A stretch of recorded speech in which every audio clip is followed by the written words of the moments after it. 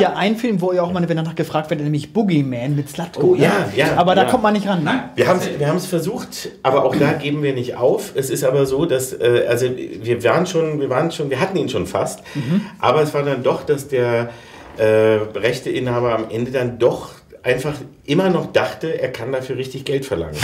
Weil er dachte wirklich immer noch, der ist dann doch was wert. Der wird ins, bis ins Grab pokern. Ja, der wird pokern und immer verlieren, weil äh, nein, das ist der Scheiß einfach nicht wert. Ich habe ihn aber gesehen, habe reingeguckt ach was. und äh, ist, also er wäre toll für Schläfer, er ist kaum auszuhalten.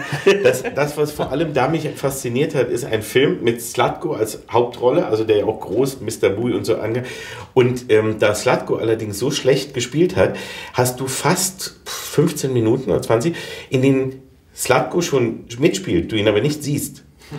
Weil sie haben ihn nur ein, ein, ein Schulter-Lookalike die ganze Zeit. Du hast nur Schulter-Lookalike, du siehst die anderen die ganze Zeit.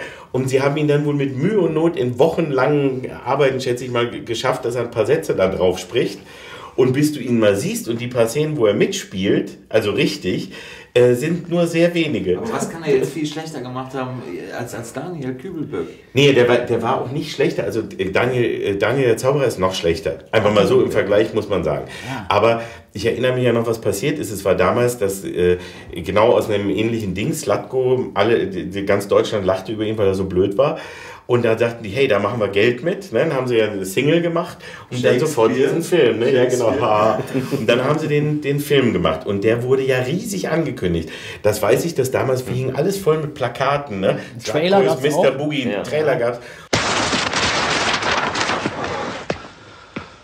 Werdet es nicht glauben. Es gibt tatsächlich ein paar Bekloppte, die haben mir die Hauptrolle in einem Kinofilm gegeben. Slutko in Mr. Boogie, der etwas andere Privatdetektiv. Ab 7. Dezember im Kino. Täglich neue Infos zum Film unter www.mrboogie.de. Klingeltöne und Icons unter www.handy.de.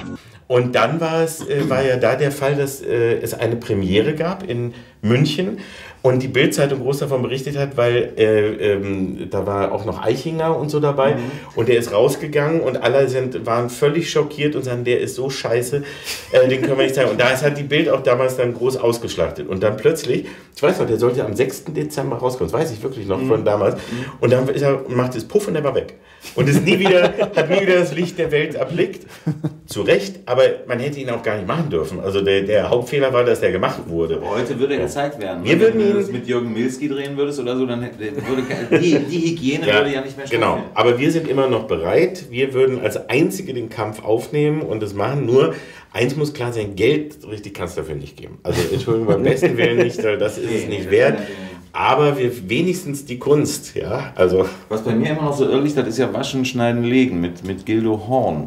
Ja, der, der war ja dran. Den können wir mal versuchen. Wir mal Ja, versuchen. weil den, da habe ich auch schon. Den habe ich auch mal gesehen, der war aber gar nicht so schlecht. War nicht so Ehrlich? schlimm? Also- Okay. Oh cool, da nageln wir dich fest, wenn's denn, wenn, wenn wir den haben und, wir, und es ist und dann sagen wir, diesen Holland hat so gesagt. Sein Lieblingsfilm ist die Bettwurst, muss man dazu Die sagen. Bedford. wird auch von ganz vielen, ja. Ja. Wird immer wieder gewünscht, ja. Den, den muss Ach, man das würde ich ja feiern, wenn die den wir, mal machen wir, haben, äh, wir müssen auch noch, wir müssen noch Ja, viel mehr in den deutschen äh, äh, Archiven kramen. Das haben wir auch gesehen. Also jetzt auch sowas wie Sunshine Reggae auf Ibiza, äh, Boots, Böse und so, das ist alles ganz großartig. Und äh, letztes Jahr äh, Gerade so aus den Musik, 80ern, Musik, äh. Karl Dahl, Mike Krüger Filme und so. Auch ja jede gibt Menge. Gas, ich will Geld- Spaß Geld mit Lena und. Bartes Ja, ja, und genau, was es da alles gibt. Da gibt es wirklich äh, grandios vergeigte Dinger. Ähm, ja, ja, da werden wir auch weiter gucken. Massengeschmack TV. Gleich anmelden und 14 Tage kostenlos testen.